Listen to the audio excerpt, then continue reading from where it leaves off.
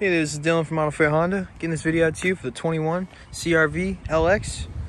Started off, you can see it's got that beautiful, nice white paint, chrome blacked out grille, LED headlights, it's the alloy rims. Come to the back here, look at those black handles, nice beige interior, cloth trim, looks awesome. Those vents for the rear seats. Plenty of room back there, comfortable. Trunk space. There's your backup cam. See, there's plenty of room back here as well. Rear seats are 60-40 split, so they fold right down for you. Spare tire kit. All-wheel drive. Here at the driver's side. Put the key in.